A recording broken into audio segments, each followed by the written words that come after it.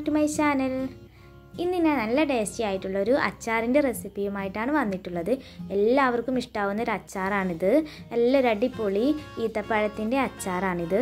അപ്പോൾ ഈത്തപ്പഴമൊന്നും വെറുതെ കഴിക്കാനൊന്നും ഇഷ്ടമല്ലാത്തവർക്ക് ഇങ്ങനെയൊന്നും ഉണ്ടാക്കി കൊടുത്താൽ ഉറപ്പായിട്ടും അവരെന്തായാലും കഴിക്കും. ചോറിന്റെ കൂടെയൊക്കെ കഴിക്കാൻ നല്ല ടേസ്റ്റി ആയിട്ടുള്ള ഒരു അച്ചാർ കൂടിയാണിത്. അപ്പോൾ എരിവും മധുരവും പുളിയൊക്കെ ഉള്ളൊരു അടിപൊളി അച്ചാറാണ്. അപ്പോൾ ഇതെങ്ങനെ തയ്യാറാക്കുന്നത് എന്ന് നോക്കാം. അതിനായിട്ട് ഞാൻ കുറച്ച് പച്ചമുളക് ചെറുതായി കട്ട് ചെയ്ത് വെച്ചിട്ടുണ്ട്. കുറച്ച് വെളുത്തുള്ളിയും കുറച്ച് ഇഞ്ചിയും നല്ല നീളത്തിൽ കട്ട് ചെയ്ത് എടുത്തിട്ടുണ്ട്. ഇതുപോലെയാണ് ഇതൊന്ന് കട്ട് ചെയ്ത് എടുക്കേണ്ടത്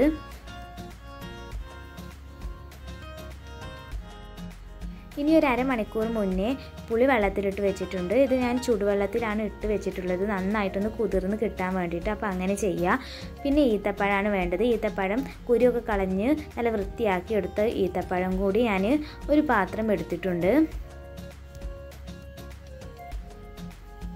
ഇതിലേക്ക് വേണ്ടത് ശർക്കരയാണ്. ശർക്കര ഞാനിതാ ഈ ഒരു സൈസിലായി കട്ട് ചെയ്ത് വെച്ചിട്ടുണ്ട്. ഇനി ഇതൊന്ന് കുക്ക് ചെയ്തെടുക്കാം. അതിനായിട്ട് ഒരു പാൻ അടുപ്പിലേക്ക് വെക്കാം. ഇനി നന്നായിട്ടൊന്ന് ചൂടായതിന് ശേഷം കുറച്ച് എണ്ണ ഒഴിച്ച് കൊടുക്കാം. എണ്ണ നന്നായിട്ടൊന്ന് തിളച്ചതിന് ശേഷം ഇതിലേക്ക് ഒരു സ്പൂൺ കടുക് ഇട്ട് കൊടുക്കാം.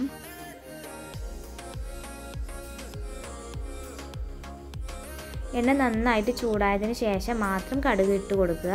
കടുകൊക്കെ നന്നായി പൊട്ടിക്കിട്ടണം എണ്ണ ചൂടായിട്ടില്ലെങ്കിൽ കടുകൊന്നും പൊട്ടൂല. അപ്പോൾ ചൂടായതിന് ശേഷം മാത്രം ഇട്ട് കൊടുക്കുക. അപ്പോൾ കടുകൊക്കെ അത് നന്നായി പൊട്ടി വരുന്നുണ്ട്. ഇനി നമുക്കിതിലേക്ക് നമ്മൾ നേരത്തെ അരിഞ്ഞു വെച്ച വെളുത്തുള്ളി ഇഞ്ചി പച്ചമുളക് ഇവ മൂന്നും കൂടി ഒന്ന് ചേർത്ത് കൊടുക്കാം. എന്നിട്ട് നന്നായിട്ടൊന്ന് ഇളക്കി കൊടുക്കുക.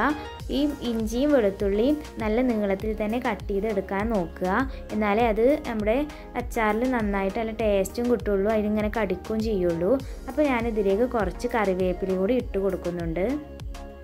ഇത് നന്നായിട്ടൊന്ന് വഴറ്റി കൊടുക്കുക. നല്ലൊരു ബ്രൗൺ നിറത്തിലാവുന്നത് വരെയാണ് ഇത് വഴറ്റി കൊടുക്കേണ്ടത്.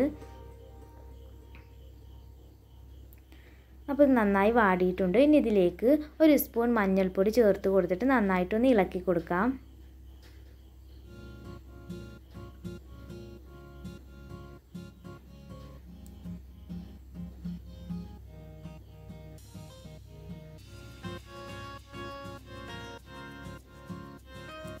ഇനി ഇതിലേക്ക് മുളക് പൊടി കൂടിയും ചേർത്ത് കൊടുക്കാം. ഞാൻ രണ്ട് സ്പൂൺ മുളക് പൊടിയാണ് ചേർത്ത് കൊടുക്കുന്നത്.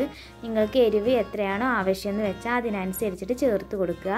നമ്മുടെ ഈ അച്ചാർ എരിവും പുളിയും മധുരമൊക്കെ നല്ല ബാലൻസ് ചെയ്ത് നിൽക്കുന്ന ഒരു അച്ചാറായതുകൊണ്ട് അതിനനുസരിച്ചിട്ട് ചേർത്ത് കൊടുക്കുക എല്ലാതും. അപ്പോൾ ഒരുപാട് ഉണ്ടാക്കുന്നവർക്ക് അതിനനുസരിച്ചിട്ട് എരിവും മധുരവും പുളിയൊക്കെ ഇട്ട് കൊടുക്കാം. ഇനി ഇതിലേക്ക് ഈത്തപ്പഴം കൂടി ഒന്ന് ചേർത്ത് കൊടുത്തിട്ട് നന്നായിട്ടൊന്ന് മിക്സ് ആക്കി എടുക്കാം.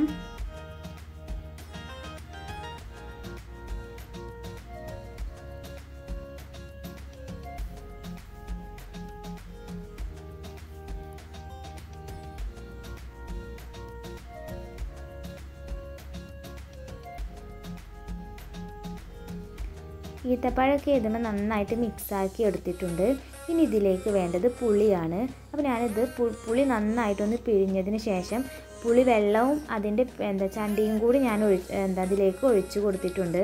അത് കളയേണ്ട ആവശ്യമില്ല. അതും കൂടി ഇതിലേക്ക് ചേർത്ത് കൊടുക്കാം.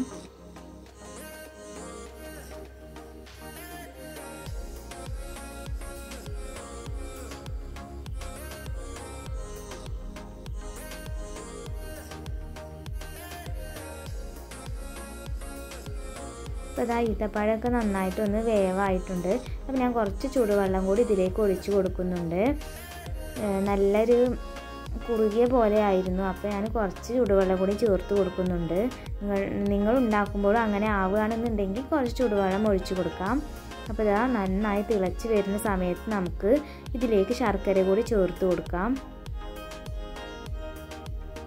നല്ല മധുരമൊക്കെ ആവശ്യം ഉള്ളവരാണെങ്കിൽ അതിനനുസരിച്ചിട്ട് ശർക്കരയൊക്കെ ചേർത്ത് കൊടുക്കുക. നന്നായിട്ടൊന്ന് മിക്സാക്കി കൊടുക്കാം. ശർക്കരയൊക്കെ നന്നായിട്ടൊന്ന് അതിൽ ഉരുകി കിട്ടുന്നത് വരെയാണ് ഇത് കുക്ക് ചെയ്തെടുക്കേണ്ടത്. ഈത്തപ്പഴമൊക്കെ അതിൽ നന്നായിട്ടൊന്ന് വേവായി കിട്ടണം.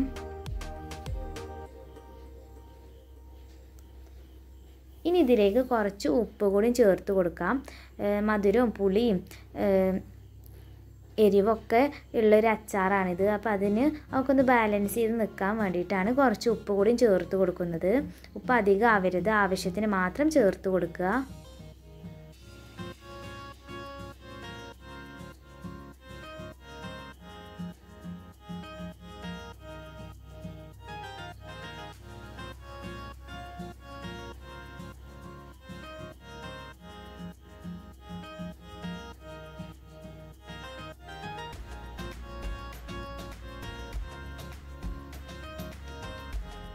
ഇനി ഇത് നന്നായിട്ടൊന്ന് തിളച്ചതിന് ശേഷം നമുക്ക് ഫ്ലെയിം ഓഫാക്കാം. അപ്പോൾ ഇതാ നല്ല ടേസ്റ്റി ആയിട്ടുള്ള നമ്മളെ ഈത്തപ്പഴത്തിന്റെ അച്ചാർ റെഡിയായി നല്ല ടേസ്റ്റാണ് ഇത് കഴിക്കാൻ. ചോറിന്റെ കൂടെയൊക്കെ കഴിക്കാൻ നല്ല ടേസ്റ്റാണ് ഇത് മാത്രം മതി ചോറൊക്കെ കഴിക്കുമ്പോൾ നമുക്ക് ഒരുപാട് ചോറ് കഴിക്കാൻ. അപ്പോൾ എല്ലാവരും ഒന്ന് ട്രൈ ചെയ്ത് നോക്കണം. എല്ലാവർക്കും ഇഷ്ടമാവും ഇത് നന്നായിട്ടൊന്ന് തണുത്തതിന് ശേഷം നമുക്ക് ഇതുപോലെ കുപ്പിയിലൊക്കെ സൂക്ഷിച്ച് വെക്കാം. ഒരു കേടും വരാതെ ഇത് സൂക്ഷിച്ച് വെക്കാം. ഫ്രിഡ്ജിലൊക്കെ വെച്ചാൽ ഒരുപാട് കാലം നമുക്കിത് ഉപയോഗിക്കാം. അപ്പോൾ എല്ലാവരും ഒന്ന് ട്രൈ ചെയ്ത് നോക്കണം. എല്ലാവർക്കും ഇഷ്ടമായി എന്ന് കരുതുന്നു. ഇഷ്ടമായെങ്കിൽ ലൈക്ക് ചെയ്യാനും സബ്സ്ക്രൈബ് ചെയ്യാനും മറക്കരുത്. ആ ബെല്ലൈക്കൺ കൂടി ഒന്ന് പ്രസ് ചെയ്യുക. അപ്പോൾ ഞാനിടുന്ന പുതിയ വീഡിയോസൊക്കെ നിങ്ങളുടെ ഫോണിലേക്ക് നോട്ടിഫിക്കേഷനായി വരും. എന്നാൽ ഇനി പുതിയൊരു വീഡിയോയുമായിട്ട് നമുക്ക് വീണ്ടും കാണാം. അതുവരെ എല്ലാവർക്കും ബായ്